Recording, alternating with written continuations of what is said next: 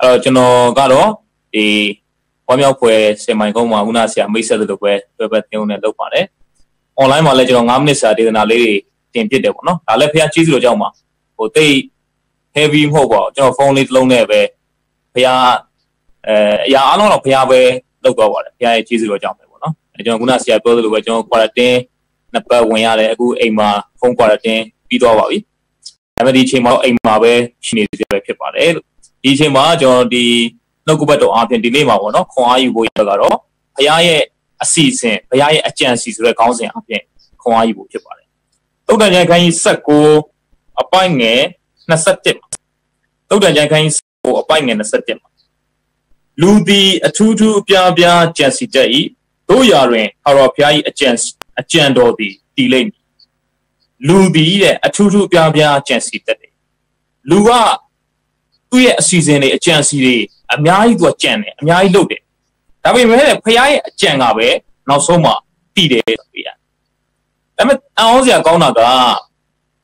လူရဲ့အကြံကလူကဖခင်ရဲ့အကြံစီကိုဝင်နှောက်ရှက်လိုက်တဲ့အခါမှာဖခင်အစီအစဉ်တွေကမောက်ကမဖြစ်သွားတယ်ဆိုတာကျမ်းစာထဲမှာတွေ့ရတယ်ဒါကြောင့်မို့ကျွန်တော်ဒီနေ့ဖခင်ရဲ့အစီအစဉ်ထဲမှာလူရဲ့နှောက်ရှက်မှုနဲ့လူရဲ့ဝန်ခံခြင်းကြောင့်ဖခင်အစီအစဉ်ကျေပြန့်သွားတယ်ဆိုတဲ့အရာလေးကိုကျွန်တော် ခွာပေးကြပါဘုရားသခင်ကကျမ်းစာထဲမှာနောင်တရတယ်ဆိုတဲ့စကားလုံးသုံးတယ်ဗျကျွန်တော်ဒီစကားလုံးစဉ်းစားတော့အော်ဘုရားကဘာဖြစ်လို့ဘုရားဖြစ်ပြီးတော့နောင်တရရတာလဲသူတို့ကမှားသွားလို့အာ sorry ကွာငါလောက်တာမှားသွားတယ်နောင်တဒီလိုမျိုးမဟုတ်ပါဘုရားနောင်တရတယ်ဆိုတာလူတွေနောင်တရတယ်လို့အမှားလုံးပြီးလို့နောင်တရခြင်းမျိုးမဟုတ်ပါဘူး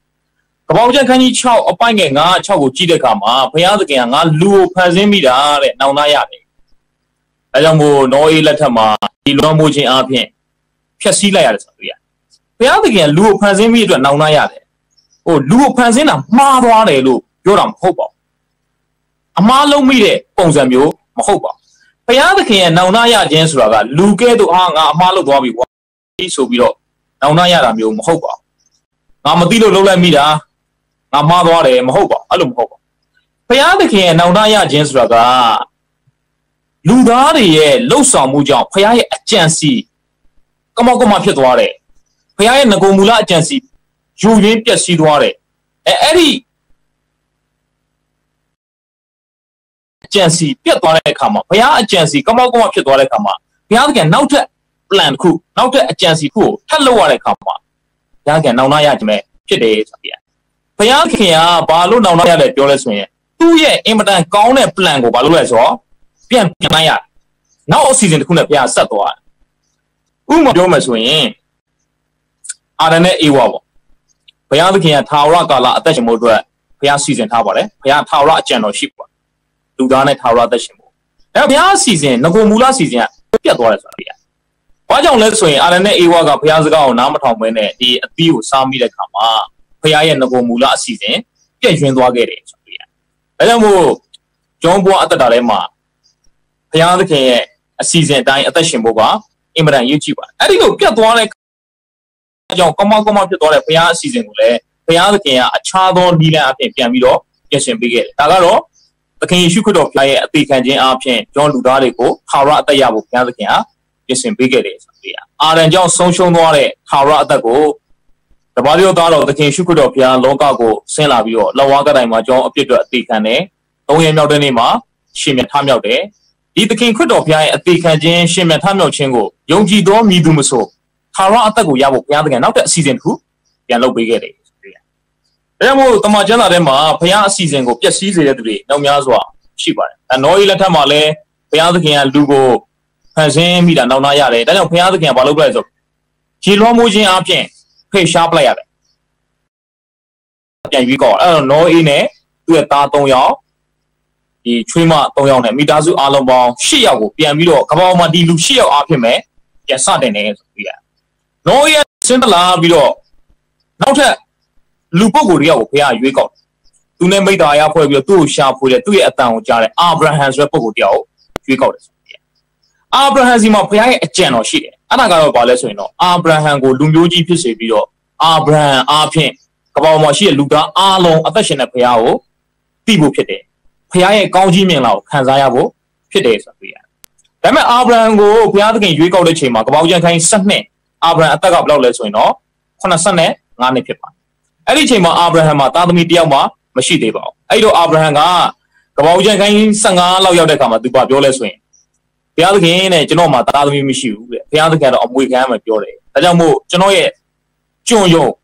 အေးလျာစာငငယ်လေးတွေကနေလာတာသူ့တော့သားဖြစ်ဘုရားသခင်အတိမပြုတ်လိုက်ပါကျွန်တော်အမွေသားအမွေခံဖြစ်ကျွန်တော်လည်းအသက်ကြီးပြီကလေးမရနိုင်တော့ပါဘူးအဲဘုရားသခင်ပါပဲမဟုတ်မဟုတ်ငါအကြံအဲ့လိုမဟုတ်ငါအကြံကမင်းရဲ့ကိုယ်ခန္ဓာတွေကမင်းရဲ့အသွေးသားပါရမယ်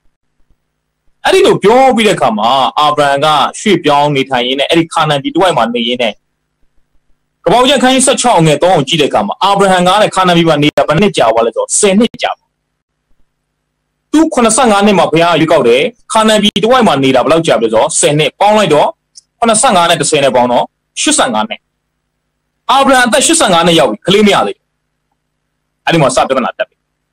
အာဗြဟံအသက်85နှစ်မှာသူ့ရဲ့အမျိုးသမီးဆာရာကအကြံတစ်ခုပေးပါတယ်အာဘုရားသခင်ကတော့သားသမီးရပြောတယ်အခုတော့10နှစ်တောင်ရှိပြီကလေးမရသေးဘူး သူ့ရဲ့ကျွန်မဟာဂရရှိပါတယ်သွားအိတ်လိုက်ပါဒီမှာကြည့်ပါနော်ဘုရားရဲ့အကြံစီကိုလူရဲ့အကြံစီကဝင်ဖြတ်ပြီးဆိုတာတွေ့ရတယ်အာဗြဟံလည်းသွားပြီးတော့အိတ်လိုက်တဲ့အခါမှာဣရှမေလဆိုတဲ့သားကိုအသက်86နှစ်မှာအာဗြဟံကရတယ်လို့ကျမ်းစာရေးတယ်ဒါကပောက်ကျန်ခိုင်း16အပိုင်ငယ်အသက်86နှစ်မှာအာဗြဟံကသားဣရှမေလကိုမွေးဖွားခဲ့တယ်ဆိုတော့တမန်ကျမ်းစာကဖော်ပြထားတယ် ဒါကဘုရားအကြံစီမဟုတ်ပါဘူးလူရဲ့အကြံစီဖြစ်တယ်ဘုရားသခင်ကအာဗြဟံကိုသားသမီးရမယ်ပြောပါတယ်ဒါပေမဲ့ဆာရာနဲ့ပဲ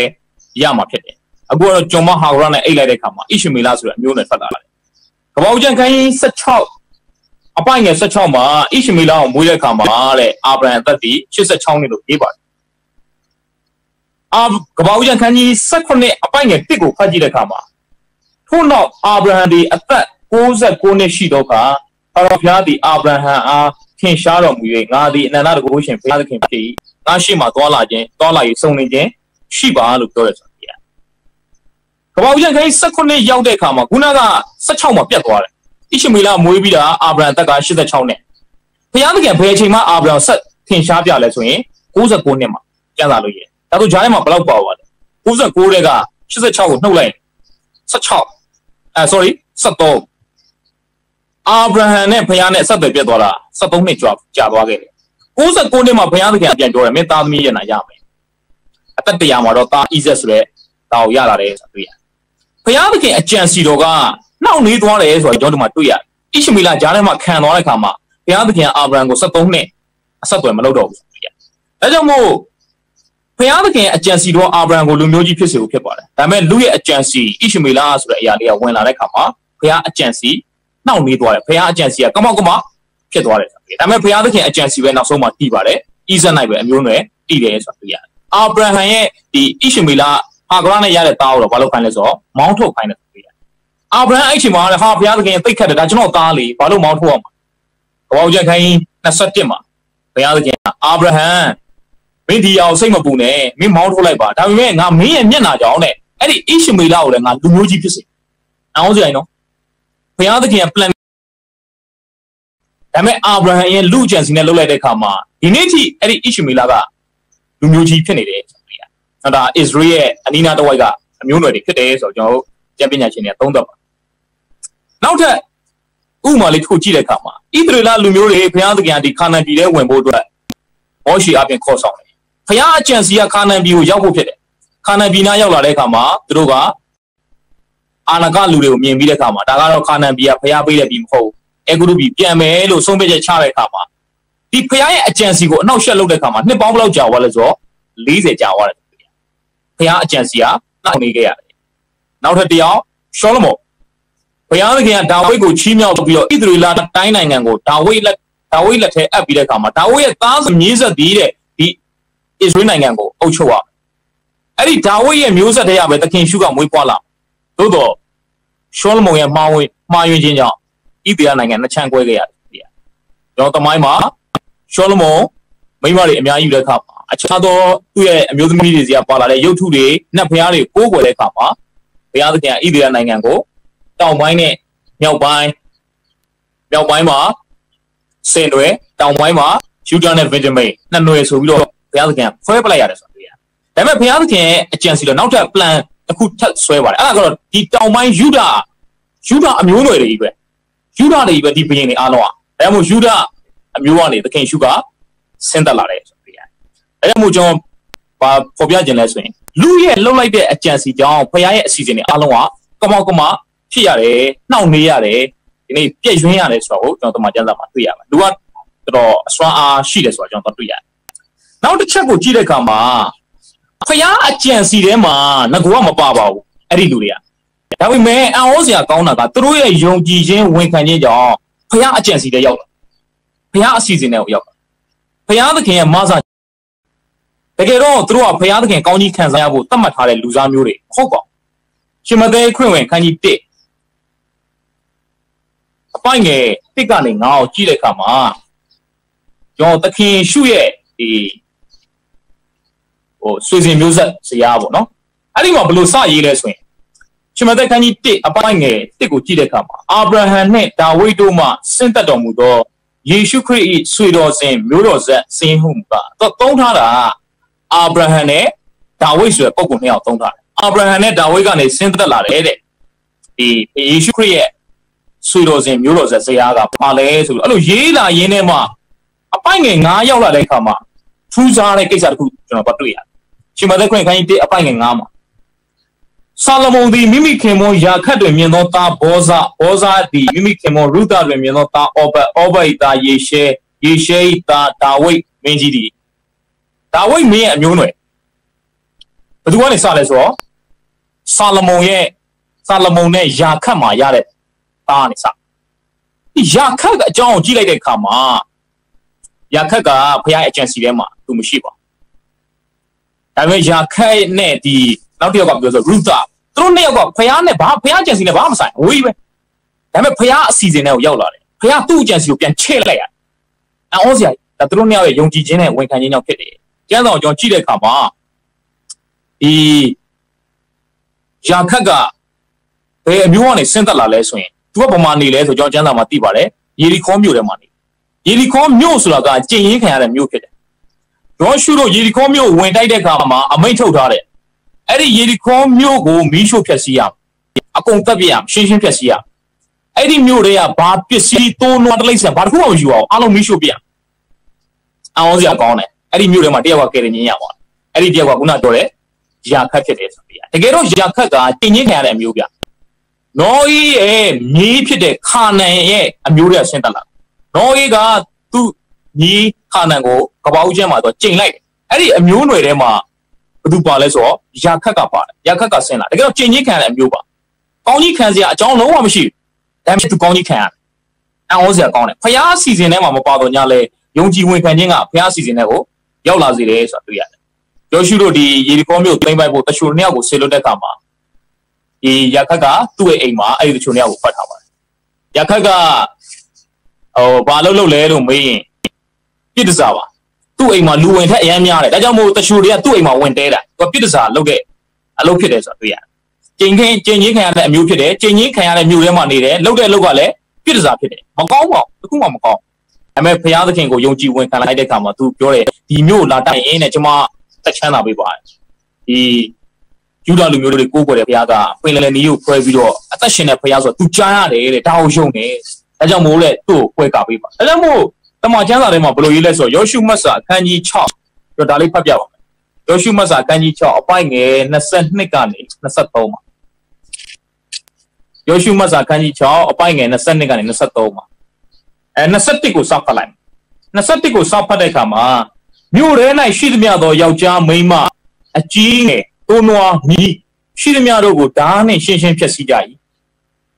ထိုပြည်ကိုစူးစမ်းသောလူနှစ်ယောက်တို့အားယောရှုကသင်တို့သည်ကျိန်ဆိုသော ကျိန်ဆိုသည့်အတိုင်းပြစ်ဒဇာမိမအိမ်တို့တွား၍သူနှင့်တကွသူ၌ရှိသမျှတို့ကိုဆောင်ခဲ့ကြလောဟုမှားလိုက်သည့်အတိုင်းတရှို့လုတ်သောလူလင်တို့သည်ဝင်၍ရာခတ်နှင့်သူ၏မိဘမောင်သူ့မောင်များသူ၌ရှိသမျှတို့ကို၎င်းသူ့ပေါက်ပေါ်အပေါင်းတို့ကို၎င်းထုတ်ဆောင်ခဲ့၍ဣသရေလတပ်ပြင်မှာထားပြီးတယ်။ဟောကျမ်းစာမှာကြည့်တဲ့အခါမှာဒီယေဒီခေါမြို့ထဲမှာရှိတဲ့ယောက်ျားမိန်းမတလိษံသုံးတော်အားလုံးချင်းချင်းဖြစ်စီတော့တွေ့ရတယ် ပစ္စည်းဥစ္စာတွေလည်းယူလို့မရအောင်ပစ္စည်းဥစ္စာတွေဒီရွှေငွေဘန်နာတွေကိုဘုရားရဲ့ဒီဗိမာန်တော်အတွက်ပဲတဲတော်အတွက်ပဲသုံးရတယ်ဆိုပြရဒါပေမဲ့ထူးဆန်းတာကရာခတ်ကိုကြတော့သူ့အိမ်ထဲမှာရှိတဲ့ပစ္စည်းကိုအယူယူရခဲ့ပါတယ်သူ့ပစ္စည်းအမျိုးလုံးအချိန်ကြီးခံထားတာနော်ဒါပေမဲ့ရာခတ်အိမ်ရပစ္စည်းတွေအချိန်ကြီးမခံရအမျိုးလုံးအချိန်ကြီးခံရတာနော်လူတွေအားလုံးအသက်ခံဒါပေမဲ့ရာခတ်ရဲ့အိမ်ထဲမှာနေတဲ့သူ့ရဲ့မိဘသူ့ရဲ့ညီကိုမောင်တို့မှာသူ့ရဲ့ပေါက်ဖော်လို့ပြောတဲ့ကြောင့်သူခင်တဲ့သူသူနဲ့ဆက်နွယ်တဲ့သူအားလုံးအိမ်ထဲမှာထည့်တာ အားလုံးကဲတယ်ညင်ရတယ်ဆိုပြရဒါကြောင့်မို့ဘုရားအစီအစဉ်ထဲမှာမပါတဲ့ရာခတ်ကယုံကြည်ခြင်းဘုရားသခင်ပေါ်မှာယုံကြည်ခြင်းဝန်ခံခြင်းကြောင့်သူဘုရားရဲ့အစီအစဉ်ထဲကိုရောက်လာတယ်နောက်တစ်ယောက်ရုဒရာခတ်နဲ့ဆာလမုန်နဲ့အိမ်တော်ကြတယ်တာဘောဇာကိုကိုရအဲ့ဒီဘောဇာကဘယ်သူနဲ့ထက်အိမ်တော်ကြလဲဆိုတော့ရုဒနဲ့ထက်အိမ်တော်ကြတယ်အောင်းစရာအဲ့ဒီရုဒကဣသေလမျိုးမဟုတ်ပါဘူးခုနရာခတ်လို့ပဲတပါမျိုးသားပါသူကဘာလူမျိုးလဲဆိုတော့မောဘအမျိုးကဖြစ်တယ် မောဘမျိုးဆိုတော့ကျွန်တော်ကဘာဦးကျမ်းမှာလောတာနဲ့သူ့ရဲ့သမီးနဲ့ပြန်ရတဲ့အမျိုးဖြစ်ပါတယ်လောတာနဲ့သမီးကြီးနဲ့ပြန်ရတဲ့အမျိုးကမောဘမျိုးဖြစ်ပါတယ်လောတာနဲ့သမီးငယ်နဲ့ပြန်အိတ်ပြီးတော့ရတဲ့အမျိုးကတော့အာမော်မျိုးဖြစ်တယ်ဘုရားသခင်ဒီလူမျိုးဆက်ဆုပ်ယွန်ရှာတယ်ဘုရားမကြိုက်ဘုရားကြိမ်ခံတဲ့အမျိုးဖြစ်တယ်ဒီမျိုးကလည်းအဲ့ဒီမောဘလူမျိုးတွေကဘာကိုကိုးကွယ်လဲဆိုရင်တဲ့ခေမုတ်ရှဘုရားကိုကိုးကွယ်ခေမုတ်ရှဘုရားဆိုတာပိုက်ပူပူကြီးပေါ့သူ့ထဲမှာမီးအဲ့ဒီ ဒီထဲမှာဒီရုပ်ထုကြီးထဲမှာမီးတွေတောက်တယ်အဲ့ဒီခလေးတငယ်တွေကိုအဲ့ဒီမီးတွေကိုပစ်ချပြီးတော့သူတို့ကပူစော်ရတယ်အာမုံတွေကတော့မောလို့တော့မိလကုံဘုရားလို့ကိုးကွယ်ပါတယ်တနည်းအားဖြင့်ပြောမှဆိုတော့ဒါနတ်ဘုရားတွေကိုးကွယ်တဲ့အမျိုးတွေပါဒီမောဘလူမျိုးကအာမုံလူမျိုးကဘတော်မှဘုရားသခင်ရဲ့လူမျိုးတော်စင်းထဲမှာမဝင်ရဘူးဆိုရင်နှုတ်ကပတ်တော်ရှိတယ်ကျွန်တော်ပြမယ်တရားသူကြီး sorry တရားဟောရကျမ်းခန်းကြီး23အပိုင်ငယ်တော့ တရားဟောအကျမ်းခန်းကြီး23အပိုင်ငယ်3တရားဟောအကျမ်းခန်းကြီး23အပိုင်ငယ်3အာမုံမျိုးသားမောဘအမျိုးသားဒီလေထာဝရဘုရား၏ပြိတ္တတော်၌အပါအဝင်မဖြစ်ရကာလအစဉ်မကုန်အဆက်ဆက်မြောက်တိုင်အောင်မဝင်ရမောဘမျိုးနဲ့အာမုံမျိုးကဖျားရဲ့ဒီပြိတ္တလူမျိုးတော်တွေမှာဘလို့မှမပါရဘူး ဒါတော့ဘုရားရဲ့ plan နဲ့ဘုရား agency ပဲဘုရားသတ်မှတ်ထားတဲ့စီမင်းပဲပါလို့မရဘူးတဲ့ကာလအစဉ်မကုန်အဆက်ဆက်မြောက်တိုင်အောင်ပါလို့မရဘူးမေယာကနေရူတာတော့ပါသွားတယ်ရူတာမောပါရူတာကဘုရားသခင်ကိုယုံကြည်တယ်သူရောက်ရောက်ခမနောမီပြောတဲ့အတိုင်းပဲဘုရားသခင်ကကျမဘုရားဖြစ်ပါတယ်ကိုတော်ရဲ့ဘုရားကျမဘုရားဖြစ်ပါတယ်လို့ဝန်ခံတဲ့အခါမှာဒီဣသရေလအမျိုးနွယ်ထဲမှာဘုရားသခင်ကသူ့ကိုဒီ plan ထဲမှာဘုရားရဲ့အစီအစဉ်ထဲမှာပါလာတယ်ဆိုပြီး ပါလာယုံနေမကဘူးရူတာနဲ့ခုနကဘောဇပေါ့ဒါကယာခက်ရဲ့သားဖြစ်တယ်ဘောဇနဲ့အိမ်အောင်ကြတယ်သားတယောက်ရတယ်အောဘတ်အောဘတ်ရဲ့သားကဘယ်လိုလဲနာမည်ခေါ်ရဆိုတော့ယေရှဲယေရှဲရဲ့သားကဒါဝိမင်းကြီးဖြစ်တယ်အောင်းစရာဒါဝိမင်းကြီးရဲ့အဖွာအဖွာအကြီးပေါ့ရူတာဖြစ်ဒီဒီသခင်ရှုရဲ့မျိုးဆက်စင်းရင်းထဲမှာဒီအမျိုးသမီးနှစ်ယောက်ကတပါးမျိုးသားဖြစ်လျက်ပါလာတယ်ဆိုတာတွေ့ရတိတ်အောင်ဖို့ကောင်းတဲ့ကိစ္စဖြစ်ပါတယ်ဒါကြောင့်မို့ ကျောင်းဘွားတက်တာထဲမှာဘုရားသခင်ကသူ့ရဲ့အစီအစဉ်တိုင်းပဲလှုပ်ဆောင်ပါတယ်ဒါပေမဲ့သူ့ရဲ့အစီအစဉ်ထဲမှာယုံကြည်ဝင်ခံလာတဲ့သူတွေကိုဘုရားသခင်ကမဆပေးတယ်ဆိုပြီးဒါကြောင့်ကယ်တင်ခြင်းနဲ့ပတ်သက်ပြီးတော့ကျွန်တော်ရှုထောင့်အမြင်နှမျိုးရှိပါတယ်ပထမတစ်မျိုးကတော့ predestination ဆိုတဲ့ဘုရားသခင်ကြိုတင်သတ်မှတ်ခြင်းဖြစ်ပါတယ်နောက်တစ်မျိုးကတော့ freedom of choice လူရဲ့လွတ်လပ်စွာရွေးချယ်ခြင်းဖြစ်ပါတယ်ဒီနှစ်ခုစလုံးကကျမ်းစာထဲမှာအသုံးဝင်တယ်ဘုရားသခင်ကကြိုတင်သတ်မှတ်ပြီးတော့သူ့ရဲ့ agency ထဲမှာပြင်ဆင်ထားတာရှိသလိုလူကဝန်ခံပြီးတော့ဘုရား agency တွေရောက်လာရင် ဘုရားသခင်သူ့ agency ထဲမှာကောင်းကြီးပေးတယ်ဆိုပြီးကျွန်တော်နောက်ဆုံးတစ်ယောက်ပြောပြပါမယ်ဘုရား agency ထဲမှာဒီလူမျိုးကလည်းတိတ်အောင်ဖို့ကောင်းတယ်ဣသရေလ12မျိုးရှိပါတယ်ဘုရားကောင်းကြီးပေးတာဒါပေမဲ့ဒီလူမျိုးကဣသရေလအမျိုးတွေရောက်လာအောင်စရာဘယ်မျိုးလဲဆိုရင်ဒါယောရှုမတ်စာမှာပတ်တွေ့ရတယ်ယောရှုမတ်စာဒီအခန်းကြီး9ကိုကြည့်တဲ့အခါမှာယောရှုတို့ဒီ ယေရီခေါမြို့သိမ်းပိုက်ပြီးတော့ထွက်လာတဲ့အကြောင်းကိုဒီအာမောရိမင်းကြီးတွေကကြားတဲ့အခါမှာအာအရန်ကြောက်ကြတယ်အာယောရှုတို့ဘလို့မှမလန်နိုင်ဘူးဘုရားသခင်ကသူတို့ဘက်မှာရှိတယ်အဲ့ဒီအဲ့ဒီအကြောင်းကိုဘသူတွေကကြားလဲဆိုရင်ဘသူတွေကယုံလဲဆိုရင်ဟိဝိဟိဝိလူလို့ခေါ်တယ်ဒါခါနန်မျိုးနွယ်တွေကဟိဝိလူဆိုတာတနွယ်ပါအဲ့ဒီဟိဝိလူမျိုးဘယ်မြို့သားတွေလဲဆိုရင်ဂိဘောင်မြို့သားတွေဂိဘောင်ဆိုတဲ့မြို့မှာနေတဲ့ဟိ ဝိလူမျိုးတွေကတဲ့ယောရှုတို့စီကိုရောက်လာတယ်ရောက်လာတဲ့ခါမှာလည်းသူတို့ကဒီအင်ကြီးတွေလည်းအကုန်လုံးဆုံးပြတ်သက်သူတို့ရဲ့စားစရာတွေကလည်းမှုတက်ပေါ့နော်သူရိတ်ခါ6တွေတော့ပါတယ်အဲ့လိုလာတဲ့ခါမှာယောရှုတော့မေးတယ်မင်းတို့ဘယ်ရလဲမင်းတို့လူအုပ်ကြီးကဘယ်ရလဲအာကျွန်တော်တို့ကဟိုးအဝေးရလာတာပါခမရတို့အကြောင်းကိုကြားတယ်ခမရတို့ကိုးကွယ်တဲ့ဘုရားအသက်ရှင်တယ်ဒါကြောင့်မို့ကျွန်တော်ခမရတို့နဲ့မိတ္တဟာရလာဖွဲ့တာပါကျွန်တော်တို့မတတ်ပါနဲ့အတူတူနေပါရစေခမရတို့နဲ့အတူတူတသားနဲ့ဖြစ်ပါရစေ ခမရတို့ကိုးကွယ်တဲ့ဘုရားကိုကျွန်တော်တို့ကိုးကွယ်ပါမယ်ဒီလိုတသားနဲ့ဖြစ်ဖို့လာတောင်းဆိုတဲ့အခါမှာယောရှုကသူတို့အဖွဲ့တွေကယုံသွားပြီးတော့ဒီလူတွေကဟိုအဝေးမှနေတယ်ထင်ပြီးတော့သူတို့စီမှာပါလာတယ်တဲ့ဒီကြီးပေါင်တွေစီမှာပါလာရိတ်ခါကြောက်တွေကိုသူစားကြတယ်စားပြီးတော့ချိန်ဆိုလိုက်တယ်ကောင်းပြီတဲ့ဒီနေ့စပြီးတော့တဲ့မင်းတို့ငါမတက်ဘူးတဲ့မင်းတို့လုံးဝမတက်ခိုက်ဘူးတဲ့မင်းတို့ငါတို့ဟောနေလို့ရမယ်ဆိုပြီးတော့မိခါရဖွဲ့တယ်ဒါပေမဲ့နောက်ပိုင်းမှာသူပြန်ကြားတယ်တကယ်တော့ဒီကြီးပေါင်လူမျိုးတွေကဝေးမှာမဟုတ် ဒီခါနန်အတဝိုက်ကရှိဝီလူမျိုးတွေအာယောရှုကစိတ်ဆိုးတယ်မင်းတို့ငါတို့ဘာလို့ညာတာလဲဟုတ်ပါတယ်ကျွန်တော်ညာတာပါကျွန်တော်လိမ့်တာပါပြည့်ရဆင်လိုက်ရတာဘာကြောင့်လဲဆိုရင်ကျွန်တော်အသက်ခံရမှာစိုးရင်လို့ကျွန်တော်တို့ဒါဒီလိုမလိမ်ဘူးဆိုရင်ကျွန်တော်လည်းအခြားသောအာမောရီမင်းကြီးတွေသိတယ်လို့ကျွန်တော်လည်းသိရပါလိမ့်မယ်ဒါကြောင့်မို့ကျွန်တော်ဒီလိုမျိုးလုပ်လိုက်တာပါအာဒါဆိုရင်တော့ငါတို့ကလည်းဖះကိုကြိမ်ပြီးသွားပြီကြိမ်ပြီးသွားတဲ့အတွက်ကြောင့်ပြင်လို့မရတော့ဒါကြောင့်မင်းတို့ဒီနေ့ကစပြီးတော့တဲ့ငါတို့စီမှာကြွန့်ခံရမယ် ငါတို့အမျိုးတွေမှာတော့နေရမယ်မိသားရဖွဲ့ရမယ်ဒါပေမဲ့ကျွန်ခံရမယ်ဘာလို့အောင်မယ်ရေခတ်မယ်ထင်းခွဲရဖျားသခင်တဲတော်နဲ့ဆိုင်တဲ့ရေခတ်ချင်းထင်းခွဲချင်းကိစ္စတွေအားလုံးကိုမင်းတို့လုပ်ပေးရအဟုတ်ကဲ့ပါကျွန်တော်လုပ်ပေးပါမယ်ကျွန်တော်မတန့်တော့ပါကြီးပေါင်လူမျိုးတွေကအဲ့ဒီလိုနီးနဲ့ဖျားရဲ့ plan နေတွေကိုရောက်လာတယ်အောင်စရာကြီးတကယ်တော့ကြီးပေါင်လူမျိုးတွေကဖျား plan နေနဲ့ရောက်စရာအကြောင်းမရှိပါဘူးရောက်လို့မရဘူးဆိုရင်ကျမ်းမိုက်တစ်ပိုက်ရှိတယ်တရားဟောရကျမ်းခန်းကြီး9အပိုင်ငယ်1ကနေနဲ့ပါ တရားဟောရကျမ်းခန်းကြီး9အပိုင်ငယ်တစ်ကနေနှစ်ကိုကျွန်တော်ဖတ်ပြပါမယ်သင်ဘုရားသခင်ထာဝရဘုရားသည်သင်သွား၍ဝင်စားလက်တန့်သောပြည်သို့သင်ကိုဆောင်သွင်းလျက်ဟိတိလူဂိရဂါရှိလူအာမောလူခါနနိလူဖေရဇိလူဟိဝီလူအဲ့ဒီမှာဟိဝီလူဆိုတာပါတယ်အဲ့ဒီဟိဝီလူဆိုတာကခုနကဂိပေါင်လူမျိုးတွေဖြစ်တယ်ဆိုတွေ့ရဟိဝီလူ ယေဘုသိလူဒီဟူသောတင့်ထက်ကြီးမြင့်များပြားသော လူမျိုးခုနှစ်မျိုးကိုတင့်ထံကနှင်ထုတ်၍တဖန်တင့်လက်၌အပ်သောကသူတို့ကိုလှုပ်ကြံ၍အကုန်စင်တုတ်တင်ပယ်ရှင်းရမည်သူတို့နဲ့မိတ္တခါရမဖွဲ့ရဂယုနာကိုမပြရဒီလူမျိုးတွေကိုတဲ့မင်းတို့လက်နိုင်အပ်တဲ့ခါမှာတဲ့မင်းတို့ဘယ်လိုဖွဲ့ရှင်းရမလဲအကုန်စင်အကုန်စင်တယောက်မကြံတုတ်တင်ပယ်ရှင်းရမယ်ပြီးတဲ့ခါမှာတဲ့သူတို့နဲ့မိတ္တခါရလုံးဝမဖွဲ့ရဘူးဂယုနာကိုလည်း မပြရအော်ဒီမှာကျတော့သွားပြီးတော့မိတ္တခါဖွင့်ပြီးသွားတယ်ဂယုနာတော့ပြမိသွားတယ်ကြီးပေါင်လူမျိုးတွေအဲ့ဒီလိုနဲ့ကြီးပေါင်လူမျိုးတွေကဖခင်ရဲ့စင်ရင်ထဲမှာဝင်လာတယ်ဆိုတော့တွေ့ရတယ်ဣသေယလူမျိုးတွေနဲ့အတူနေတယ်ဣသေယလူမျိုးတွေနဲ့အတူတူပဲဘုရားကိုဝတ်ပြုတယ်သူတို့အသက်တာထဲမှာဒီဘုရားပုံမှာယုံကြည်ခိုလုံမှုပုံမှာဘုရားသခင်ကသူတို့ကိုကြည့်ရှုလိုက်တယ်ဆိုတော့တွေ့ရတယ်အအောင်စရာကောင်းပါလေအဲကြောင့်မို့ဣသေလလူမျိုးတွေအားတဲ့ယောရှုခိုင်း7အပိုင်ငယ်16မှာ ကြီးပေါင်မြို့သားလွဲပြီးတော့တဲ့တခြားသောမြို့တစ်မြို့မှာသူတို့မိခါရမဖွဲ့လို့ပဲဒီတစ်မြို့ကတော့ချွင်းချက်ဒီလူမျိုးတစ်မျိုးကတော့ချွင်းချက်ဖြစ်သွားတယ်ဆိုရအောင်စရာကောင်းတဲ့ကိစ္စနောက်တစ်ခုရှိတယ်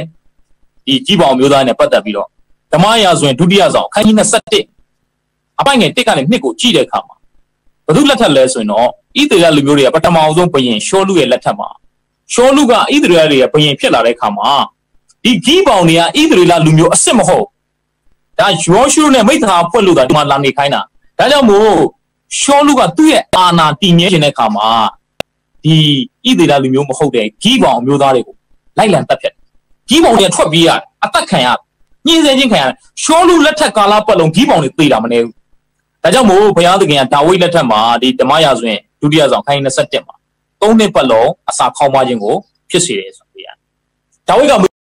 ဘာကြောင့်ဖြစ်တာလဲအမင်းကြောင့်မဟုတ်ဘူးလေရှောလူကြောင့် ရှောလူကဂီးပေါင်တွေတက်တဲ့ပြကြောင်ငါးတမပြန်ပြီးတော့ပြန်ပေးဆက်ခိုင်းဒါဘယ်လိုလုပ်အောင်မလဲအဲ့ဒီဂီးပေါင်တွေသွားခေါ်လိုက်တဲ့ဘာလို့ပေးရမလဲမွေးလိုက်လူနဲ့ဒါဝိတ်ကဂီးပေါင်တွေသွားခေါ်တယ်ခင်ဗျားတို့စိတ်ပြေအောင်ကျွန်တော်ဘာလို့ပေးရမလဲဘုရားသခင်တခုလုပ်ပေးဖို့ပြောတယ်ဂီးပေါင်တွေကျွန်တော်တခြားမတောင်းဆိုပါဘူးတဲ့ဒါဝိမင်းကြီးဖြုတ်မှတ်တယ်ဆိုတာလည်းကျွန်တော်သိပါတယ်ရှောလူကဒါကျွန်တော်တို့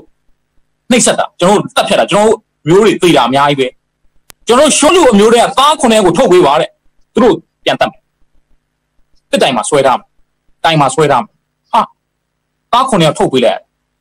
တကယ်တော့နော်ကြီးပေါင်တွေကဣသေလလူမျိုးမဟုတ်ဘူးဒါပေမဲ့ဂီးပေါင်တွေကဘုရားအကြံစီတဲ့ရောက်လာတဲ့ကောင်မှာဘုရားသခင်လုံးဝရက်တည်ရနော်သွားလို့လို့မရဘူးကြီးပေါင်းတွေကိုသွားတတ်လို့မရအောင်ဘာလို့ဘုရားအကြံစီတွေရောက်လာလို့ဖြစ်တယ်သူတို့ဘက်ကနေဘုရားကပြန်ရက်တည်ပေးတယ်ဆိုတာသိရတယ်မိတ်ဆွေသင်လည်းဘုရားအကြံစီတွေရောက်လာတဲ့အခါမှာဘုရားသခင်သင်ဘက်ကရက်တည်ပေးတယ်သင်ဘက်ကမဆပေးတယ်၊ကိုယ်ကပေးတယ်ဆိုတာသိရတယ်အဲကြောင့်မို့ကျွန်တော်ဒီနေ့ဒီကုန်းချုပ်အနေနဲ့ကတော့လူရဲ့ဇာတိသဘော လူရဲ့ဆန္ဒအကြံစီတွေကဘုရားအကြံစီကိုကောက်မောက်ကောက်မောက်ဖြစ်စေပါဒီနေ့အာရနဲ့အေဝါကြောင့်ထာဝရကာလလူနဲ့အတူနေမဲ့အကြံစီကောက်မောက်ကောက်မောက်ဖြစ်သွားတယ်အဲဘုရားသခင်နောက်ထပ် plan နေဖြစ်တဲ့သခင်ရှုခတော်အပြည့်ကယ်တင်ခြင်းထာဝရတက်ကိုပြန်ပေးတယ်ဆိုပြီးရအာဗြဟံအာဗြဟံအဖြစ်ဘုရားသခင်အကြံစီဟာနည်းနည်းလေးကောက်မောက်ကောက်မောက်ဖြစ်သွားတယ်ဣရှမေလဆိုတဲ့တားတယောက်မွေးလာတယ်သို့တော်လည်းဘုရားသခင်နောက်ဆုံးမှာဣဇက်ကို အမွေလူမျိုးတော်ရဲ့ဂတိတော်နဲ့ဆိုင်တဲ့သားဖြစ်ဘုရားသခင်ကအသက်တရာမှာပြန်ပေးဒါနည်းနည်းတော့ကြာသွားတယ်ဣသရေလလူမျိုးတွေလည်းခါနန်ပြည်ဝင်ဖို့နှစ်40ကြာသွားတယ်လူရဲ့အကြံစီနဲ့လှုပ်ဆောင်တဲ့အခါမှာရှောလမုန်ဒီလည်းဘုရားသခင်ရဲ့အကြံစီကိုနားမထောင်ဘဲနဲ့ဒီနေ့များစွာသောအမျိုးသမီးတွေရဲ့အခြားသောဘုရားတွေနောက်လိုက်သွားတဲ့အခါမှာဣသရေလတိုင်းပြနှစ်ချမ်းကွဲသွားတယ်ဒါပေမဲ့ဘုရားသခင်အကြံစီကဆက်တည်ပါတယ်ဒါဝိမျိုးဆက်ကပဲသခင်ရှုမွေးဖွားလာတယ်ဖះအကြံစီတွေမှာမပါတဲ့ယာခတ်ရူတာဂိဘောင် ဒီလူတွေလည်းဖះအကြံစီထဲမှာဖះသခင်ကိုယုံကြည်ပြီးခိုလုံတဲ့အခါမှာဖះအစီအစဉ်နဲ့ရောက်လာတယ်ဆိုပြီးရအဲကြောင့်မို့ချစ်တော်ညီကိုရောက်စီတိုင်းတင်းရဲ့ဘဝအသက်တာထဲမှာလူရဲ့အကြံစီလူရဲ့လှုပ်ဆောင်ချက်ကဖះအကြံစီကိုကောင်းကောင်းကောင်းဖြစ်စေတယ်ကျွန်တော်ထင်ပါလဲဒီချိန်ကာလမှာလူတွေကိုဖះသခင်နားခိုင်းလိုက်ဒီချိန်ကာလမှာဘုရားသခင်သူကိုယ်တိုင်လှုပ်လှုပ်တဲ့အချိန်ကာလဖြစ်တယ်။သူကိုယ်တိုင်လှုပ်လှုပ်ပါကျွန်တော်အင်းဝင်သွားဟောလို့မရတော့ဘုရားเจ้าမှာတွေ့လို့မရတော့ဘုရားเจ้าနဲ့အကုန်ပိတ်လိုက်ရတယ်ဒါဘုရားသခင်အလုပ်လုပ်တဲ့အချိန်ကာလ ဖြစ်တယ်ဆိုတာတွေ့ရလူရဲ့အကြံစီတွေလူလုပ်တဲ့အရာတွေများပြီးလူတွေကသူတို့ရဲ့အလိုတိုင်းသူတို့ရဲ့စိတ်ဆန္ဒအတိုင်းဒီနေ့အသိတော်တွေကတစ်ခုနဲ့တစ်ခုအပြိုင်ဆိုင်လုပ်တယ်ယာဒူးရှိတဲ့သူတွေကလည်းသူတို့ရဲ့ယာဒူးနေရာမှာသူများသူတို့ကိုပို့ပြီးတော့နှစ်သက်ဖို့အတွက်လုပ်ကြတယ်ကျွန်တော်အဖွဲ့အစည်းတွေကလည်းကိုယ့်ရဲ့စိတ်ဆန္ဒသဘောတိုင်းပဲလှုပ်ဆောင်တယ်ဇာတိသဘောတွေနဲ့လုပ်တယ်ဒါကြောင့်မို့လူတွေအထူးထူးပြပြအကြံစီတော်ညာလဲဖះအကြံစီပဲတည်မယ်လို့ကြံစာရေးတယ်လူဒီအထူးထူးပြကြံစီတယ်ဆိုတာကလူကြံစီတော့က ဇာတိတဘောဖြစ်တယ်ဆိုပြီးကျွန်တော်အသွေးသားဇာတိနဲ့ကြံစီလိုက်တဲ့အရာကမတီးပါဘူးအဲ့ဒါတွေကဖះအကြံစီကိုတော့ဖြည့်ဆည်းပြလိုက်နိုင်တယ်ဆိုပြီးဖះအကြံစီဖြစ်တဲ့ဝိညာဉ်သဘောနဲ့ဆိုင်တဲ့ဖះအကြံစီကတော့ခါဝရတည်တယ်ဆိုပြီးဒါကြောင့်မို့ကျွန်တော်ရဲ့တက်တာထဲမှာဖះအကြံစီထဲမှာအသက်ရှင်ဖို့ဒီနေ့ဝင်ငါလို့ပါတယ်ကိုယ့်ရဲ့အကြံစီကိုယ့်ရဲ့ကိုယ်ပိုင်ကိုယ့်ရဲ့စိတ်ကူးအကြံစီထဲမှာအသက်မရှင်ဘဲနဲ့ဒီနေ့ဖះအကြံစီထဲမှာအသက်ရှင်ဖို့ဖြစ်ပါတယ်ဒီနေ့ဘုရားသခင်ကအေဝံဂေလိသတင်းစကားကိုသူကိုယ်တိုင်အလုပ်လုပ်နေတယ်ဒီဘုရားရဲ့အကြံစီထဲမှာကျွန်တော်ပါဝင်မှုပဲဖြစ်တယ်အခုအားလုံး နားလိုက်ရပါအိမ်မှာပဲနေရဒီ online အပြင်ဘုရားသခင်ကသူ့ရဲ့အလုပ်လုပ်ကိုသူလုပ်နေတယ်ကျွန်တော်ဆိုလဲဒီ9မိနစ်စာဒေသနာလေးလုပ်ခွင့်ရတဲ့အခါမှာတကယ်တော့ကျွန်တော်တိတိလေးပါပဲကျွန်တော်ရဲ့ဖုန်းလေးနဲ့ဘာမှမဟုတ်ဘူးဗျာကျွန်တော်လည်းအဲလူလေးခွန်အားရဖို့ဆိုပြီးလုပ်လိုက်တာတကယ်တော့ကျွန်တော်ဆရာကြီးလည်းမဟုတ်ပါဘူးကျွန်တော်ကပါချီပါချက်ပါအဲဘုရားသခင်ရဲ့အကြံစီတွေရောက်တဲ့အခါမှာလေအံ့ဩစရာကောင်းတယ်ကျွန်တော်ရဲ့9မိနစ်သွားပြီးတော့လူတော်များများနားထောင်ခွန်အားယူကြတယ်ဆိုတော့တွေ့ရဒါကျွန်တော်တော်လို့တက်လို့ဘာတစ်ခုမှမရှိဘူးဗျဘုရားသခင်လှုပ်သွားတဲ့အရာလေးဒါကြောင့်မို့ ကို့အကြံစီထဲမှာမနေဘဲနဲ့ကိုဖြစ်ချင်တဲ့ကိုလှုပ်ချင်တဲ့အရာတွေထဲမှာကျွန်တော်အသက်မရှင်ဘဲနဲ့ဖခင်ရဲ့အကြံစီထဲမှာဝင်ရောက်အသက်ရှင်ရင်ယာခတ်ရုသဂိပေါင်တွေကဲ့သို့ဖခင်ရဲ့ကွယ်ကာခြင်းမဆာခြင်းဖခင်သခင်ရဲ့အုပ်ဆိုးခြင်းကောင်းခြင်းမြင်လာကျွန်တော်ကခံစားမယ်ဆိုတာတွေ့ရနောက်ဆုံးကျမ်းပိုက်တစ်ပိုက်အပြင်ကျွန်တော်ညီကုန်းချုပ်ပါမယ်ယေရမိအနာဂတိကျမ်းခန်းကြီး29အပိုင်ငယ်7ယေရမိနာဂတိကျမ်းခန်းကြီး29အပိုင်ငယ်7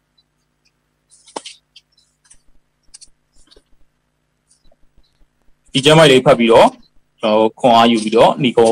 ချုပ်ဖို့ဖြစ်ပါတယ်ယေရမိနာဂတိကျမ်းခန်းကြီး29အပိုင်ငယ်7တဖန်မိန်တော်မူသည်ကငါသည်တင်တို့ကိုအကျိုးနည်းစေခြင်းကကြံသောအကြံမဟုတ်ပဲသင်တို့သည်မျော်လင့်သောအကျိုးကိုရမည်အကြောင်းငြိမ်မှုစေခြင်းငါသာသင်တို့အဖို့လို့ငါကြံသောအကြံကိုငါသိ ဘုရားသခင်ပြောပါတယ်ကျွန်တော်တို့အတွက်ဘုရားသခင်ထားတဲ့အကြံစီကကျွန်တော်တို့အကျိုးနည်းဖို့အတွက်တခုမှမဟုတ်ပါဘူးကျွန်တော်တို့မျော်လင့်တဲ့အကျိုးကိုရမယ့်အကြောင်းနဲ့ကျွန်တော်အသက်တာထဲမှာညီသက်ချင်းညီကိုချင်းကိုရဖို့အတွက်ဘုရားသခင်သူကြံစီထားတဲ့အကြံစီတွေကိုသူသိတယ်ချစ်တော်ညီကိုရောက်စီတိုင်းကျွန်တော်ကိုယ့်ရဲ့အစီအစဉ်ကိုယ့်ရဲ့အကြံစီကိုယ့်ရဲ့အစွမ်းကိုယ့်ရဲ့ဇာတိတဘောထဲမှာအသက်မရှင်ဘဲနဲ့ယနေ့ကစပြီးတော့ဘုရားသခင်ရဲ့အကြံစီထဲမှာအသက်ရှင်ဖို့အတွက်ဝင်ငါပါတယ်ဘုရားသခင်ရဲ့အကြံစီကတင့်အကျိုးနဲ့ဖို့လုံးဝမဟုတ်ပါဘူး တင့်တို့အကောင်းဆုံးပဲဖြစ်တယ်ဘုရားအကြံစီထဲမှာအသက်ရှင်ဖို့အတွက်ဝင်ငါပါတယ်အားလုံးပေါ်ပြရှင်ခွင့်ပြုပါသည်